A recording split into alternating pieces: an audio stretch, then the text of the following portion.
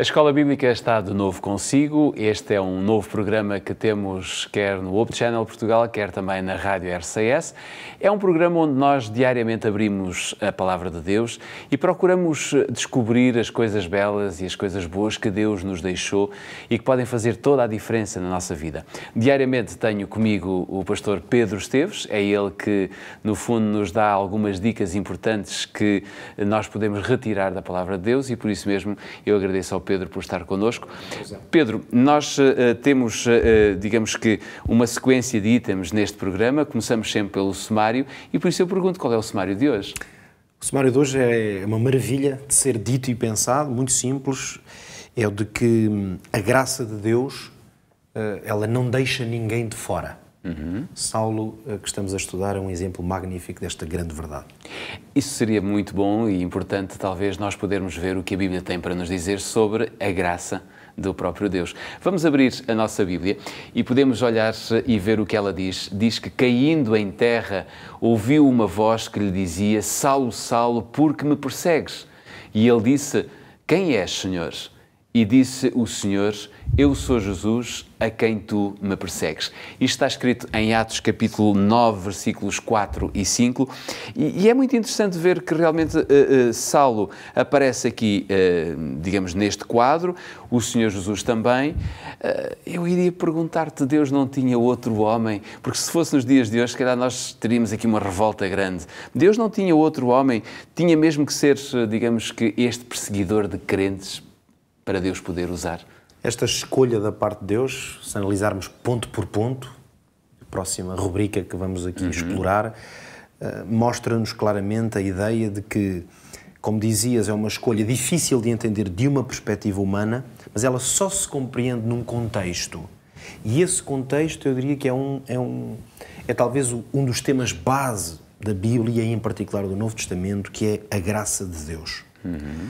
A graça de Deus não é simplesmente a ideia de que Deus é tão bondoso ou tão bonzinho que não liga nada para o que as pessoas fazem, eh, não se preocupa, esquece facilmente o, o erro. A graça de Deus é, felizmente, tão grande quanto o nome indica, mas muito mais profunda e complexa do que essa ideia de um Deus meramente que tem pena. Tem, tem grandes desafios por dentro, não é? Porque este é um grande desafio, ir escolher um perseguidor. Sem dúvida. A ideia que eu quero explorar aqui é de que a graça de Deus, o ponto de partida da graça de Deus enquanto um favor divino, é de que ela não se merece. Uhum. Por isso, nós, quando olhamos para a escolha de Deus num, numa pessoa com o perfil de Saulo, humanamente falando, como dizíamos há pouco, dizemos não é justo, uhum. como às vezes dizemos em algumas escolhas, se calhar que assistimos, uh, sejam políticas, sejam pessoais, nós podemos dizer não é justo que aquela pessoa tenha sido escolhida e não tenha sido eu, por exemplo. Se no meu trabalho me sinto, uh, acho que um colega foi, por exemplo, promovido e se calhar eu uh, acho que me dediquei mais. No contexto da graça divina, o merecimento, a causa própria não, não estão incluídas. Porquê? Porque se fosse assim, não, se, não era graça, era justiça. Uhum. Que é isso que distingue a graça da justiça. A justiça é que é dar à pessoa o que ela merece. Portanto, se ela merece uma coisa boa, recebe uma coisa boa. Se merece má, recebe uma coisa má. A graça divina ela opera num contexto em que Deus não atentou exatamente ao merecimento humano. Deus, como dizíamos no programa anterior, com o seu olhar que consegue ir muito mais além e concede essa graça como ponto de partida para a pessoa vir a ser aquilo uhum. que ela tem o potencial para ser. Portanto, a graça de Deus não se concentra no que a pessoa é no momento ou até no que ela fez, a graça de Deus concentra-se no que a pessoa pode vir a ser quando Deus a transformar. Ou seja, a graça de Deus ela é, ela é extensível a todos, mas nem todos a conseguem alcançar. Exatamente, porque muitos não se deixariam tocar por ela, uhum. mas aqueles que estão disponíveis para ela, ela é atuante.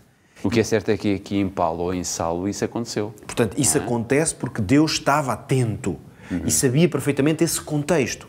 Mas realmente, eh, permite-me ler, acrescentar aqui ainda dois versículos que eu vou ler diretamente aqui na minha Bíblia, em Atos, no capítulo 9, logo no início, uhum. quase para complicar ainda mais a pergunta que tu fizeste. A verdade é que o texto que introduz este processo, este caminho para Damasco, no qual Deus vai chamar, através de Jesus Cristo, vai fazer este chamado a Saulo, esta história começa dizendo que Saulo respirava ameaças e morte contra os discípulos do Senhor, e que dirigiu-se mesmo ao sumo sacerdote e pediu-lhe cartas para ir a Damasco, às sinagogas, a fim de que se encontrasse alguns daquela seita, homens ou mulheres, os conduzisse presos a Jerusalém. Era um homem determinado. Portanto, é impressionante que a determinação deste homem em perseguir os cristãos vai ser precisamente o, o, nesse contexto no qual Jesus Cristo lhe vai aparecer.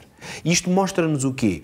Que a intervenção de Deus ela aconteceu no momento em que ele estava em ação na perseguição aos cristãos. Isto como que eh, a razão pela qual eu coloco este ponto como um dos pontos-chave de reflexão é porque ele ainda nos ajuda a perceber a dimensão da graça de Deus. Uhum.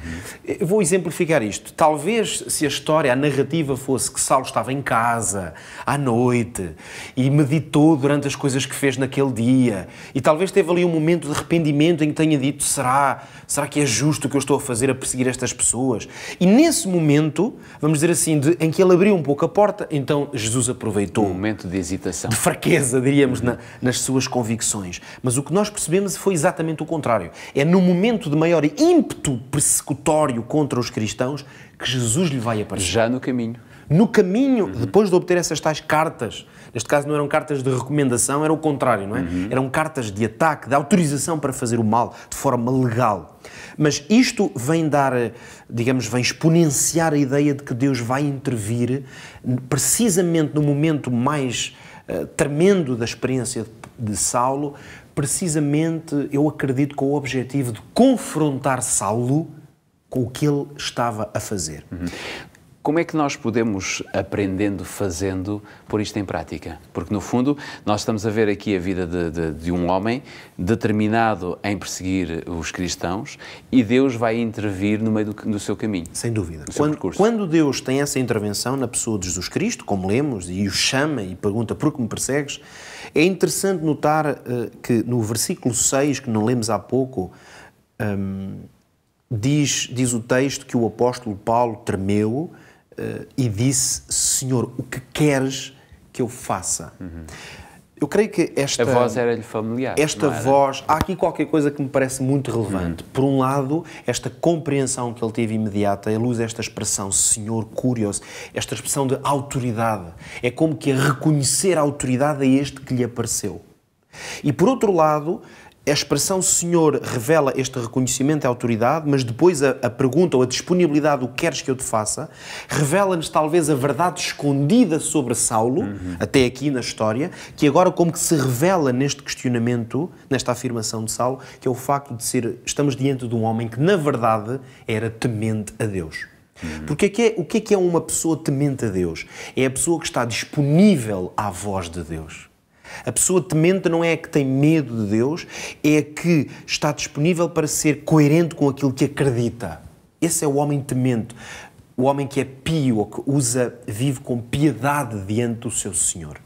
Ora, nós compreendemos então nesta fase de uma maneira mais clara do que nunca que, mesmo se as convicções e o zelo de Paulo estavam mal direcionados, na verdade tratava-se de um homem temente. Essa é a parte prática para a nossa vida, não? Por isso, se nós agora fizermos essa aplicação, como é que nós podemos aprender fazendo nós, olhando para esta história e este momento na vida de Saulo, eu, na verdade, já teria um desafio para ti, é o mesmo uhum. que eu coloco na minha vida, e é o desafio que eu lanço neste momento para quem nos vê ou ouve neste, nesta escola bíblica.